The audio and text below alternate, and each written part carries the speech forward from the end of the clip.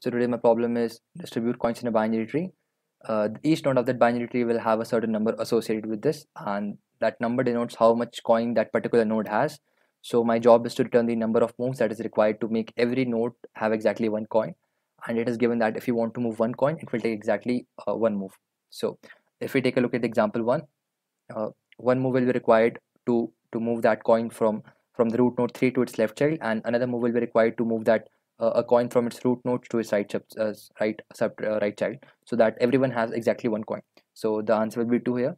So uh, how will we actually approach this question is firstly i'll try to solve the the very sub problem of this. Uh, we'll solve uh, we'll solve this problem on the node that has the minimum dependency and that will be the leaf node because it does not have any any sort of issue of its child. So first let's uh, let's uh, see how we'll solve it on its leaf node and after that we'll move on to the parent itself so for better understanding let's take a look at this example. Example one this is the same example one. Okay. So if i want to talk about this node i'm just talking about this node right now. Okay.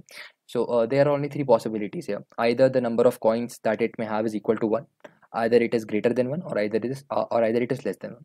So if it has uh, if it is if it has uh, already if it already has exactly one coin then how many number of moves do we require? We don't uh, we only require zero number of moves because since it's a leaf node and it already has one coin we don't need to do anything further right? So uh, if it has exactly one coin with the number of moves that we required is zero. What if it has less number of coins than one? Then it can only have zero number of coins. It's not possible for uh, it to have negative number of coins. So if it has zero number of coins how many moves do you think it will require so that it gets one coin it will only it will only require one one coin right? It will only require one coin.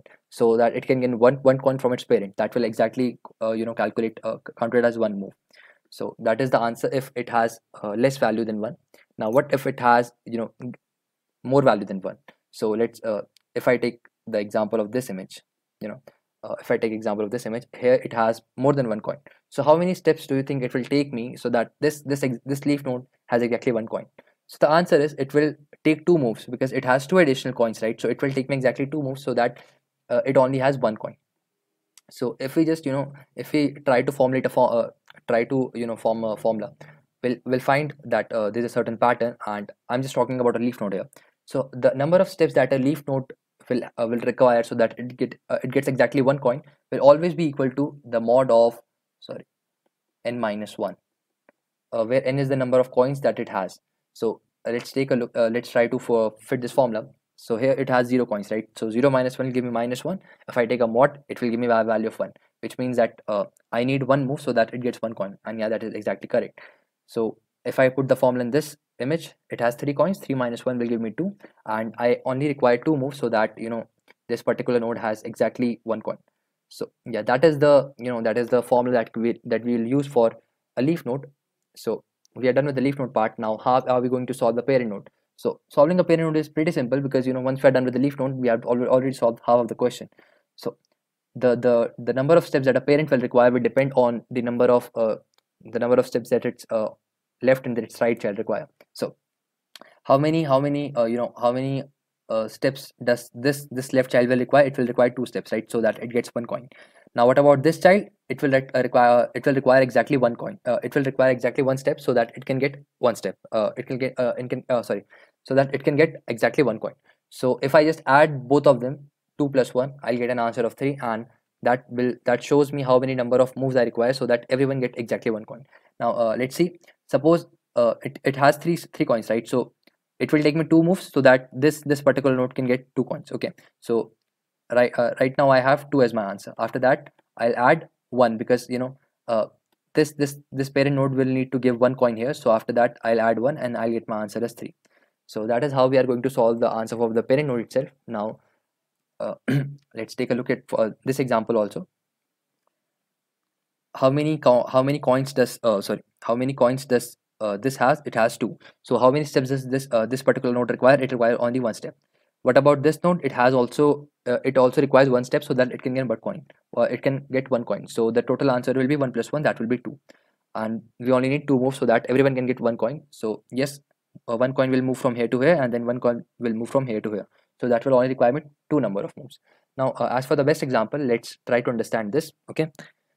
So here we have uh, three coins in the in the sorry we have here we have three coins in the leaf node. So how many steps do you think uh, will require only two steps so that this particular node gets two coins right? I'll just move uh, push off uh, all the overload coin uh, overload coins that i have. So this will require you know it will get two coins and i'll i'll move two steps. Done.